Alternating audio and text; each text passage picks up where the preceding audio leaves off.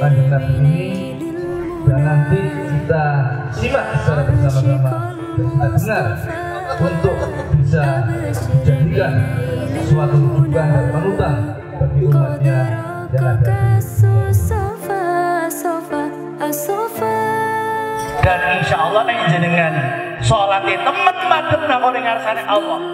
Allah mesti bakal nge resi sing kathah dipari rezeki kathah kali ya Allah.